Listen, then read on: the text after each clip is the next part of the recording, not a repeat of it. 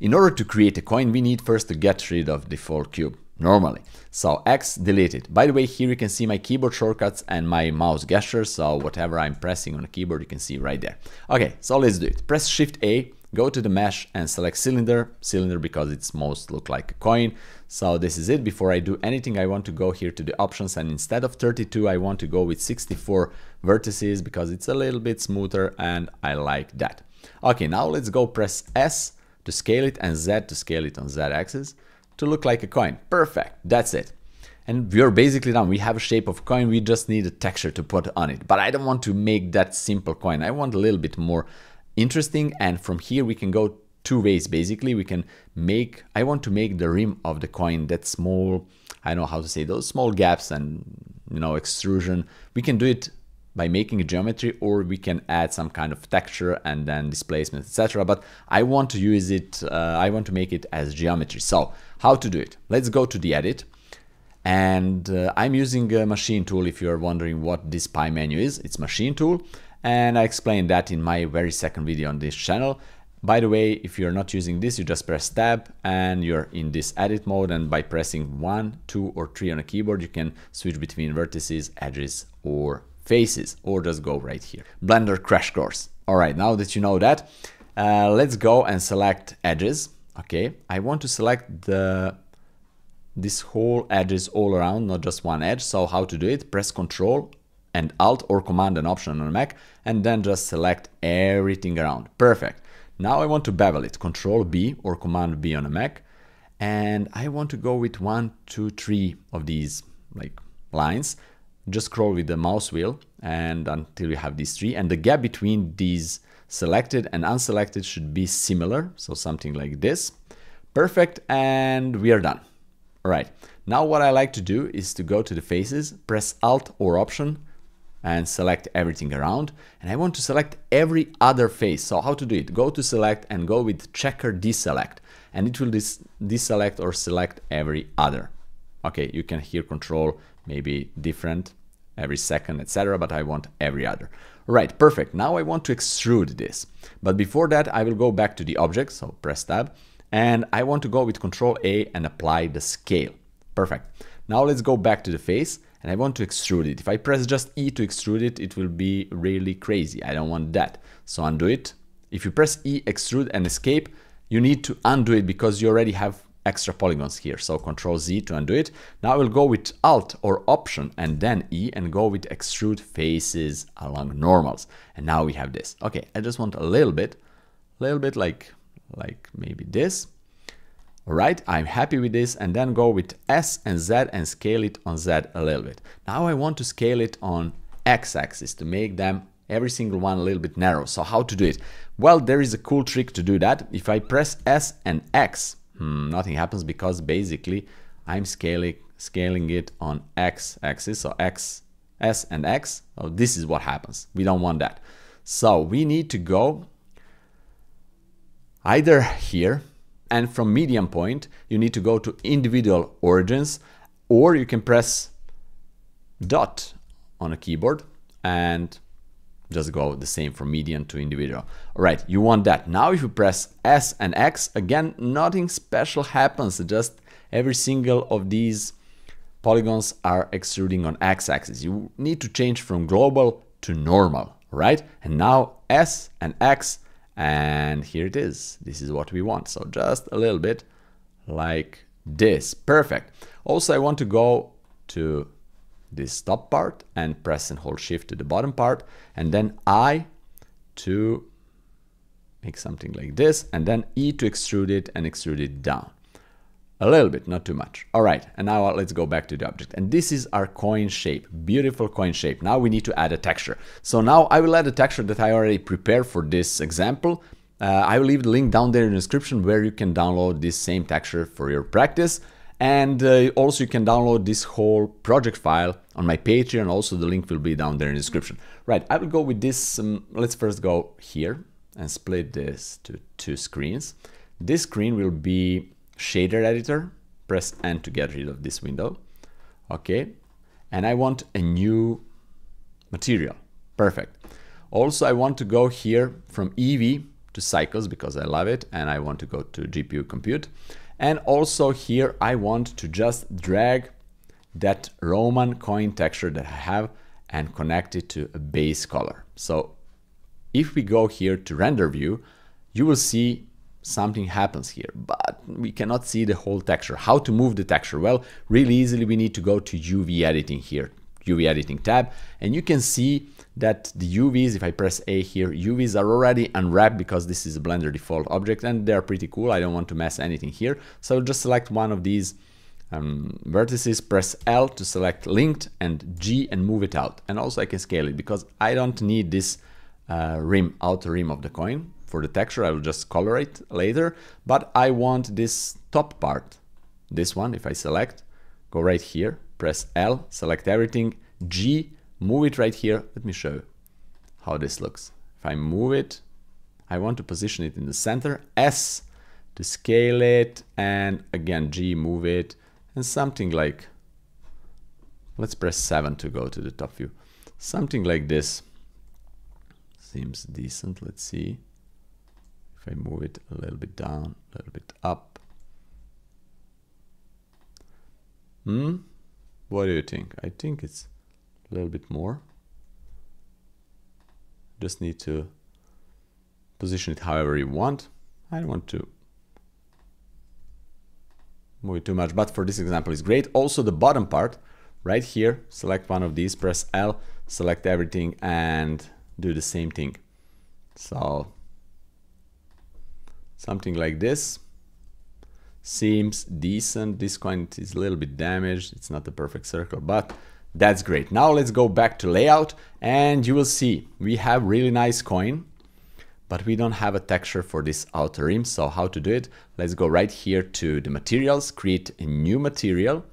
And before we assign it, I want to go back to the faces. I want to select top face and bottom face by holding shift and just invert it, control or command I and everything else I want to assign to this material. So basically this, assign, create new material, assign it and go with the dark brown color. So something like that. Let's go back to the object and let's see we can change the color maybe a little bit brighter. We can change any color we want. So less saturated, a little bit darker. Maybe something like this. For this example, this is perfectly fine. And we have a really cool coin. This is great. I really love it. So there is just one issue here, and that's if we go like here, you can see that mm, it's flat. Also, another good way to see this if you go to 3D viewport, go to top by pressing 7 and go to light. Let's see here if I go to top also. If I move this light around, you can see, let's move this light a little bit down. So, oh, we need to go from normal to global. GZ, move it down. And now go to the top view. You can see that only the shadow of the outer rim is changing, but everything else is completely flat. So how to fix it? Well, we need a normal map. A normal map is basically a map uh, like a JPEG image that tells Blender where bumps and where dents in the image. So it has that kind of information. So we need to create one normal map for this coin. There a technique, there is a technique actually that is a manual way to create a normal map and involves several steps, but I know that we are all lazy and we all want to have it with the press of a button and I will show you that way. I recently discovered really great plugin that is called DeepBump and let's go to the shader editor. It's here, DeepBump and with just press of a button it will generate a normal map. In order to install it, you have the link down there in the description. Just go through regular installation process, go to edit preferences, add-ons and just install that zip file and you will see, follow the instructions and you will have this right here. So you need to go to the shader editor and with by pressing N on the keyboard, if you don't see the side menu, you will have it here. So we have our coin material, but we want to have this material number one with the Roman coin JPEG as a base color selected. And you can go right here to tiles overlap and choose between small, medium and large. I will go with the medium for this project and just select or click to generate normal map. In a matter of few seconds, voila, it's here. Everything is properly connected. You don't need to do anything, just press of a button. And now if I go back here to 3D viewport and go to my light, now look at the image. See?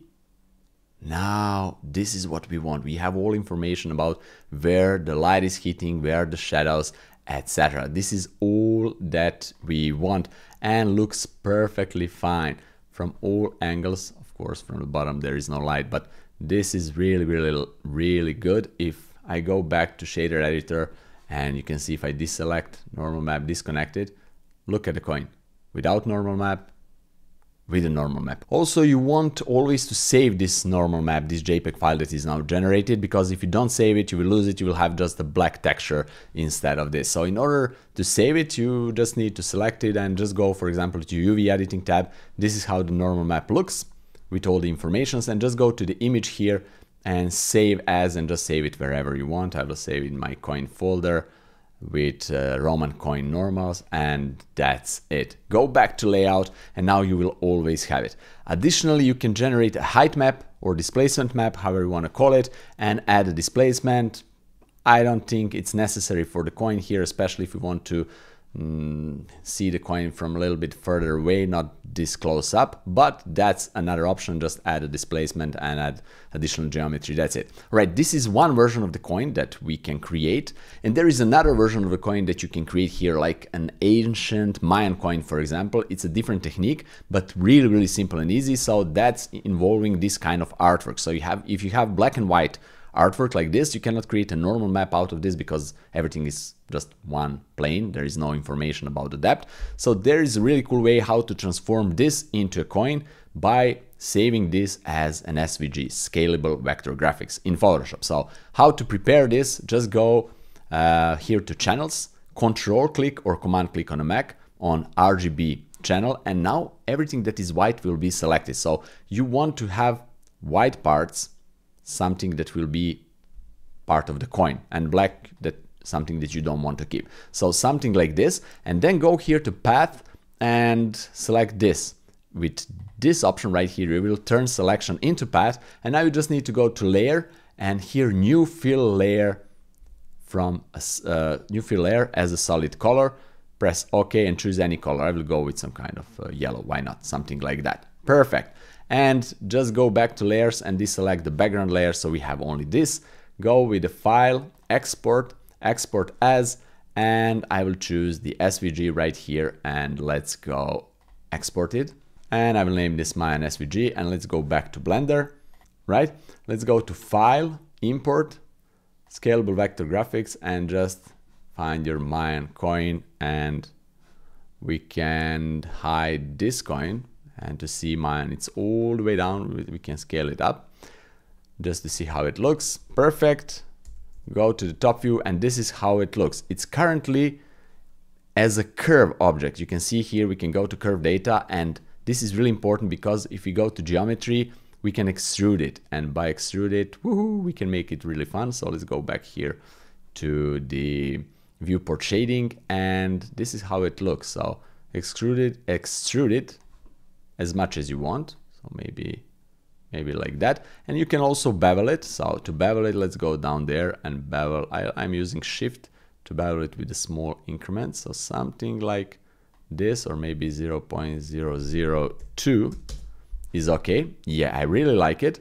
And now that I'm happy with this, I will go right click and convert to mesh. Perfect. And now we can go back to here to the shader editor and instead of SVG material that is brought from Photoshop, I can cancel it, create new material, and here I will go with some kind of gold. Let's go back to render view. Some kind of uh, goldish material, right? I want to be metallic, less rough, just something fun for this example.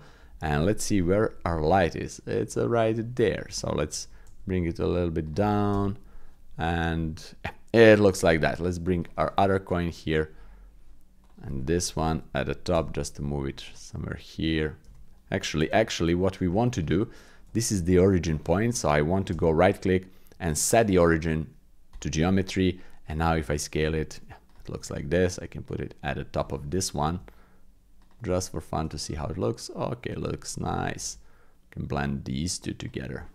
no, but this is this is the second coin. So basically, let's move it right right there. Okay, this is how these two coins looks. Different version of the coins. I like this Mayan coin. We can also make it more metallic, less roughness, maybe, maybe something like that. Roman coin, an ancient Mayan coin that can be any other color that you want and you can add different material. You can add maybe some noise texture here, not to be that flat and whatever you want. This is a topic for another tutorial, but really simple, really easy. You can do these kind of coins and do with them whatever you want. If you also want to learn how to create furniture, the chair in Blender with a cloth filter, really simple and easy, check out this video right here. See you there. Bye bye.